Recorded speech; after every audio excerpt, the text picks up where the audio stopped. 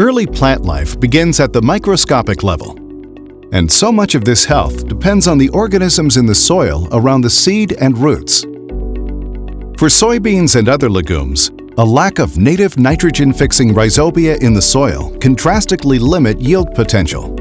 Fortunately, with the application of a superior BASF seed inoculant like HiCoat Super Soybean or HiStick Soybean, the seed is enhanced with hundreds of thousands of natural and productive nitrogen-fixing soil bacteria, also called rhizobia.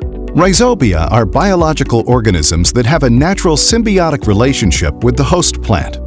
They produce nodules in the legumes that become nitrogen-fixing factories, turning simply the nitrogen gas in the air into a more readily useful form of nitrogen for the plant. This can lead to a yield increase of up to 800 kilograms per hectare over non-inoculated crops. HiCoat Super and HiStick are highly concentrated products.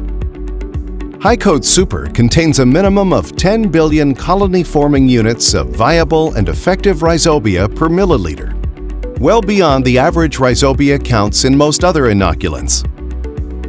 These high numbers of rhizobia directly contribute to maximizing yield potential. HiCoat Super Soybean features a unique extender engineered for maximum on-seed survivability for the rhizobia.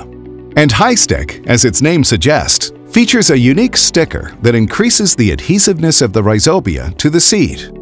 For soybean growers who are looking for increased yields, always use a BASF seed-applied inoculant like HiCoat Super Soybean and HiStick Soybean. BASF. We create chemistry.